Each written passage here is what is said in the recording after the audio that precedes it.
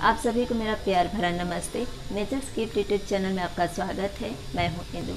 नवजात शिशु के शरीर के प्रत्येक अंग की साफ़ सफ़ाई, उसकी उचित देखभाल ज़रूरी होती है। अपने पिछले वीडियो में मैंने बच्चे की जीभ की साफ़ सफ़ाई क्यों करनी ज़रूरी होती है, किस तरह से करनी चाहिए और कौन कौन सी समस्याएँ होती हैं, इसके विषय में जानकारी दी थी।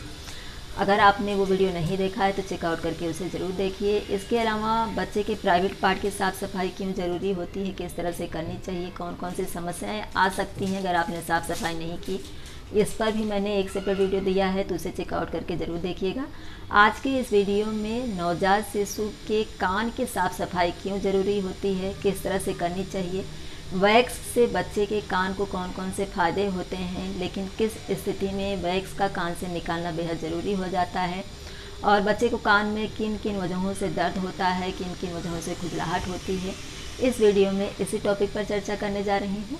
एक छोटी सी रिक्वेस्ट है, वीडियो अगर पसंद आ जाएगी तो प्लीज़ लाइक का बटन ज़रूर हिट कर दीजिएगा। चैनल पर अगर आप न्यू हैं तो वीडियो के नीचे जो रेड बटन है, उसे दबाकर चैनल को सब्सक्राइब कर लीजिए। इससे वीडियो के सारे नोटिफिकेशन आपको मिलते रहेंगे। और वीडियो अच्छी लग जाएगी तो इसे औरों को भी ज़रूर शेयर कर दीजिएगा ताकि जो न्यू पेरेंट्स होते हैं, उन्हें इन सभी बातों की जानकारी हो जाए। सबसे पहले बच्चे के कान में दर्द किन किन वजहों से होता है, ये देख लेते हैं। अगर बच्चे को सर्दी, जुकाम है तो इससे बच्चे के कान में खुजलाहट भी होती है, दर्द भी होती है। क्योंकि गले में अगर कफ जमा हुआ है, बच्चे को सर्दी हुई है तो जो नाक कान, आँख और गले की नसें होती हैं, एक दूसरे में कनेक्ट होती हैं। इसकी वजह से कान में दर्द भी होता है सर्दी में और खुजलाहट भी होती है। इसके अलावा अगर आप लेट करके दूध पिलाती हैं तो जैसा कि मैंने कहा कि सभी नसें जो होती हैं एक दूसरे में कनेक्ट होती हैं तो बच्चा मुँह से जब दूध पीता है और आप लेट करके दूध पिला रही हैं तो कान में दूध जाने की संभावना बनी रहती है। तो इससे कभी कभी बच्चे को कान में पस भी हो सकता है, यानी मवाद भी हो सकता है और दर्द भी हो सकता है, खुजलाहट भी हो सकती है। तीसरा, अगर आप नहला रही हैं, नहलाते समय बच्चे के कान में पानी या फिर साबुन चला गया है तो अगर आपने उसे सूखा करके नहीं लिया है तो इससे भी बच्चे के कान में दर्द भी हो सकता है, कान भारी भारी महसूस हो सकता है, बच्चे के कान में खुजलाहट भी हो सकती है। इसके अलावा, अगर बच्चे के कान में बैक्स जो है, वो ज़्यादा हो गया है तो इससे भी बच्चे के कान में खुजलाहट भी महसूस हो सकती है दर्द भी हो सकता है और भारी भारी भी लग सकता है। अब इन सब समस्याओं को आप कैसे समझ सकती हैं और किस तरह से इसे छुटकारा पा सकती हैं? अगर आप के बच्चे के कान में दर्द हो रहा है, बच्चा रो रहा है, कान की तरफ़ हाथ ले जा कर के इस तरह से रब करने की कोशिश कर रहा है, ज़्यादा तेज़ रो रहा है, इरिटेट हो रहा है, एकदम चिड़चिड़ा सा हो गया है तो आप समझ जाइए कि बच्चे के कान में दर्द हो रहा है और खुजलाहट भी हो रही है। तो इसके लिए सबसे पहले आप ध्यान दीजिए क्या बच्चे को सर्दी जुकाम है। अगर सर्दी जुकाम है, तब तो मतलब उसी की वजह से हो रहा है। तो आप, जो होम रेमेडी होती है, उसे इस्तेमाल करके बच्चे के जो सर्दी जुकाम है, उससे उसे छुटकारा दिलाइए। किस तरह से आपको होम रेमेडी कौन कौन से इस्तेमाल करनी है, इसके लिए मैंने सेपरेट वीडियो दिया हुआ है तो आप चाहें तो चेकआउट करके उसे देख सकती हैं। मैं नीचे डिस्क्रिप्शन बॉक्स में सभी का लिंक ज़रूर दे दूँगी। अब इसके अलावा अगर आपने चेक किया कि बच्चे को सर्दी जुकाम नहीं है तो आप ध्यान दीजिए कि क्या आपने नहलाते समय बच्चे को ध्यान दिया था? अगर नहीं तो आप एक दो दिन इस तरह से करके देखिए, यानी कि बच्चे को नहलाने के तुरंत बाद आप इस तरह का कॉटन का एकदम से सॉफ्ट कपड़ा लीजिए, सूखा कपड़ा, एकदम सॉफ्ट, सूखा और साफ़ कपड़ा लीजिए। आपका हाथ भी एकदम से साफ़ होना चाहिए। और इस तरह से, इस तरह से रोल करके, इस तरह से एकदम मोटा रोल करना है, एकदम बारीक नहीं कि कान के होल के अंदर चला जाए। इस तरह से रोल करके बच्चे के कान के यहाँ इस तरह से रखिए और हल्का इस तरह से पुश करिए। इस तरह से देखिए, आपको दिखाई दे रहा होगा। इस तरह से पुश करने से क्या होगा? ये कपड़ा एकदम से सूखा है तो अंदर जो भी पानी और नमी होगी, वो, ये कपड़ा जो है वो खींच लेगा।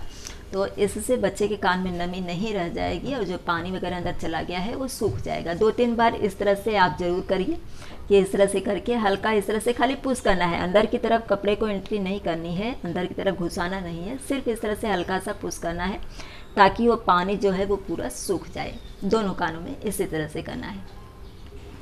तो अब ऐसा आपने कर लिया और देखा कि क्या बच्चा अभी भी रो रहा है या फिर उसे दर्द महसूस हो रहा है या फिर बच्चा कान के पास हाथ ले जा कर के रब करने की कोशिश कर रहा है तो आप टॉर्च जला करके देखिए कि क्या बच्चे के कान में बैग्स वगैरह ज़्यादा हो गया है। अगर हाँ तो फिर आपको तुरंत डॉक्टर के पास जाना है। आपको अपने से वैक्स निकालने की बिल्कुल कोशिश नहीं करनी है। ये वैक्स क्या होता है इसे हम समझ लेते हैं। कान में वैक्स कान की सुरक्षा के लिए प्राकृतिक रूप से प्रकृति ने ही बनाया हुआ है और वो प्राकृतिक रूप से अपने आप से निकल भी जाता है। ये एक तरह का चिपचिपा पदार्थ होता है जो कान की सुरक्षा के लिए बेहद ज़रूरी होता है। क्योंकि जैसे कि हमारी आँखें हैं, यहाँ पर ये जो होता है पलक, इस पर जो बाल होते हैं ज़रा सा तेज़ हवा चलती है या फिर कुछ भी ऐसे सामने से कीटाणु आ गया तो तुरंत आँख की पलकें जो होती हैं वो अपने आप बंद हो जाती हैं। और आँख में कोई भी चीज़ नहीं जा पाती है, इसके ऊपर धूल मिट्टी जम जाती है और हम जब मुँह धोते हैं तो इस तरह से पानी डाल करके धोते हैं तो पूरा क्लीन हो जाता है तो जो गंदगी रहती है वो बाहर ही बाहर साफ़ हो जाती है।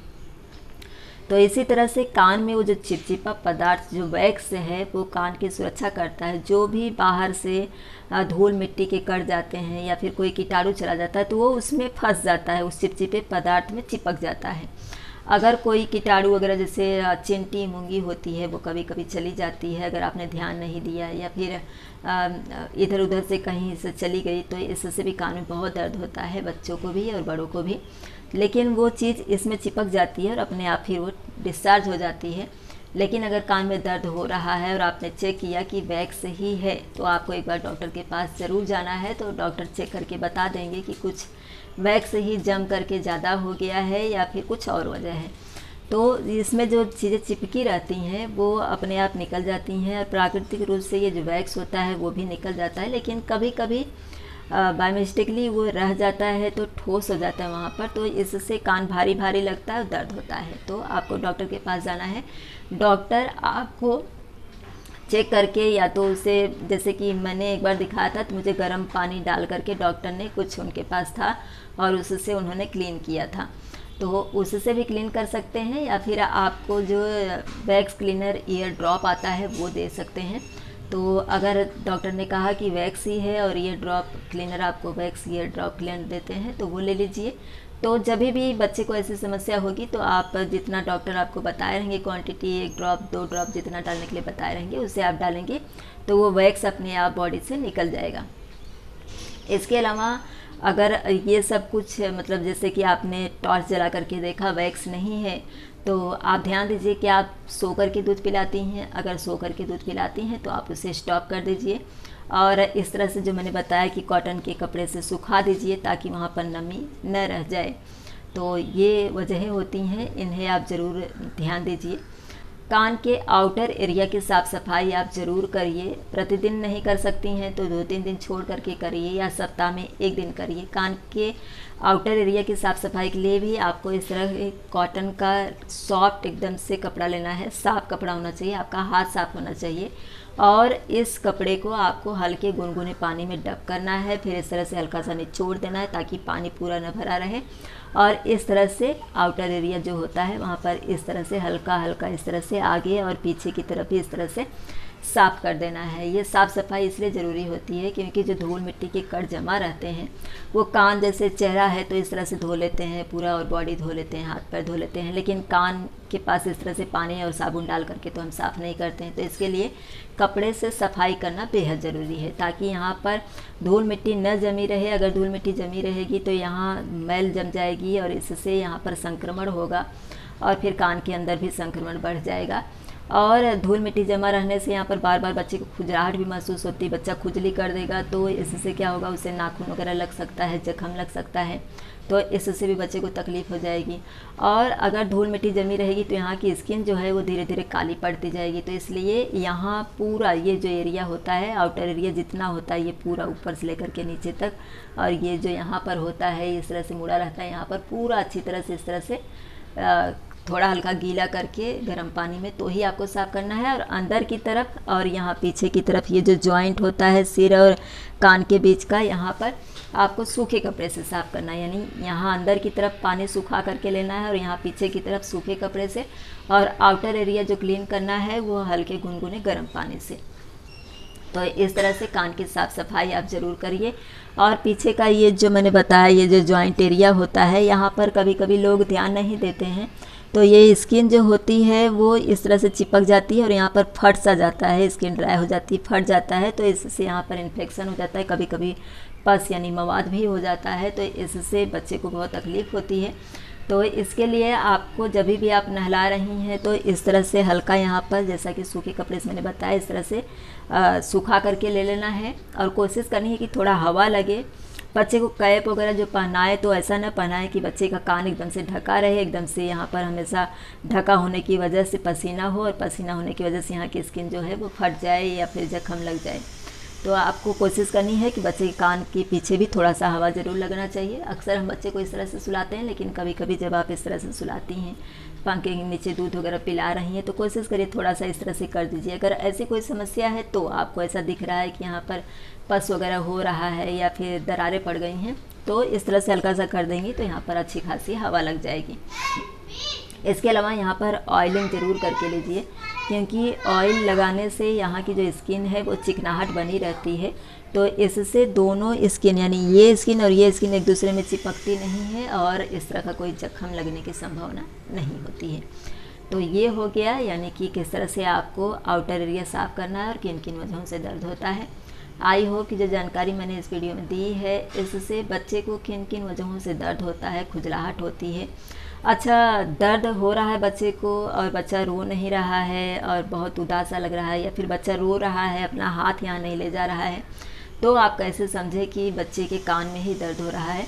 देखिए, जब आपने सब कुछ चेक कर लिया, बच्चे को भूख वगैरह सब कुछ कर लिया, डायपर वगैरह चेंज कर दिया, इसके बावजूद भी बच्चा रो रहा है तो आप एक बार इस तरह से हाथ रख कर के बच्चे के कान पर देखिए। अगर हाथ रखने से बच्चा शांत होता है या फिर आपकी तरफ़ इस तरह से देखने लगता है तो समझ जाइए कि बच्चे के कान में दर्द है। अब वो दर्द सर्दी जुकाम से भी हो सकता है, पानी जाने की वजह से भी हो सकता है या फिर वैक्स जम जाने की वजह से भी हो सकता है। टॉर्च जला करके देखिए, अगर ऐसा आपको दिख रहा है तो आप डॉक्टर के पास जाइए नहीं तो फिर जो मैंने बताया प्रोसेस उसे करके लीजिए आई होप कि जो जानकारी मैंने इस वीडियो में दी है, इससे बच्चे के कान में किन किन वजहों से दर्द होता है और किन किन वजहों से खुजलाहट होती है, उसे आप किस तरह से क्योर कर सकती हैं और किस परिस्थिति में आपको डॉक्टर के पास जाना है, किस तरह से आपको कान की साफ़ सफ़ाई पर ध्यान देना है ये समझने के लिए वीडियो आपके लिए ज़रूर हेल्पफुल होगी। वीडियो पसंद आई होगी तो लाइक कर दीजिएगा चैनल को सब्सक्राइब और वीडियो को ज़्यादा से ज़्यादा शेयर कर दीजिएगा ताकि जो न्यू पेरेंट्स होते हैं, उन्हें भी इन सभी बातों की जानकारी हो जाए। इसी तरह के नए टॉपिक के साथ अगले वीडियो में फिर से मिलेंगे। वीडियो देखने के लिए आप सभी का धन्यवाद।